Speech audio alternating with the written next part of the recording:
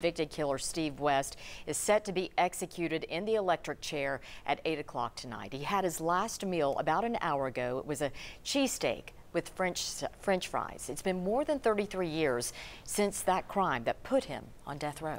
10 News reporter Jim Matheny went through the archives to remember the victims, Wanda and Sheila Romines, and to remember why the state plans to kill Steve West. Got a box right here. It's pretty heavy. Eddie Campbell carries a weight for a dear relative and friend, Jack Romines, who died in 2008. He was more like a brother. He would always tell me, he said, if anything happens to me, he said, you make sure that everything goes through. For Romines, everything was the execution of Steve West one of the two men convicted of murdering Jack's wife and daughter, Wanda and Sheila Romines, in 1986 at their house in the Big Ridge community of Union County. But it was the most brutal thing. Before this house was a crime scene, it was home for Jack and Wanda Romines, a couple that married later in life. So the addition of a newborn daughter, Sheila, was special. They were very happy, and Sheila was the, oh Lord, was the pride and joy of his life. She liked to dance, and she was a good basketball player. She Played for Andrews County High School. On the morning of March 17, 1986, Jack Romines left for work a little after 5 in the morning.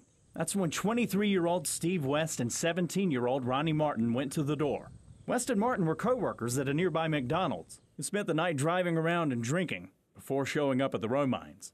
Wanda and Sheila opened the door because they knew him. It was just downhill from there.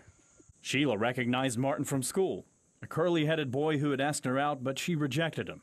For the next few hours, Sheila was raped, both mother and daughter were tortured and stabbed to death. The mother and daughter were found in separate bedrooms. Mrs. Romines is said to have been bound at the hands. Both she and her daughter had been stabbed repeatedly. Wanda was mutilated, and so was Sheila. Within just one day, both Ronnie Martin and Steve West were in custody. Both admitted they were at the Romines' house both blamed the other for the killings. Both were charged with double murder.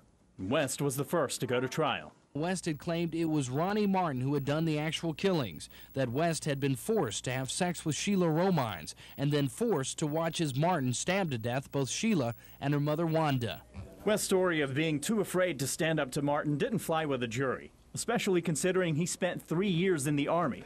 A little 17 year old kid forced a 23 year old man, he's been in the Army and had special training and all that, and a 17 year old kid come out here and make you do something like that, they ain't nobody could. Nobody.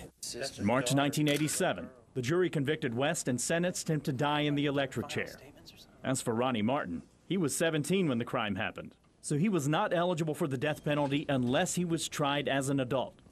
Martin never gave them a chance. He pleaded guilty to double murder, avoided a trial, and received two life sentences more than 32 years, Martin has been behind bars, while West waited for an execution, delayed by decades of legal challenges to capital punishment.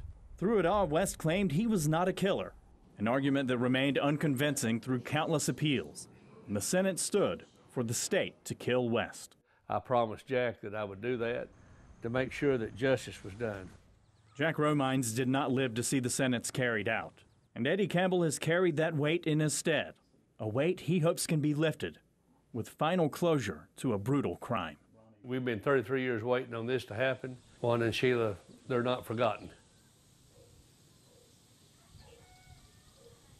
That was Jim Matheny reporting. Eddie Campbell says the mission will not be over when Steve West is executed.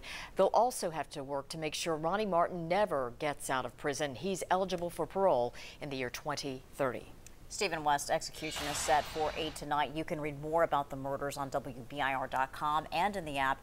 And tonight you can watch the press conference after the execution on the WBIR Facebook page and the 10 News app. We'll be right back.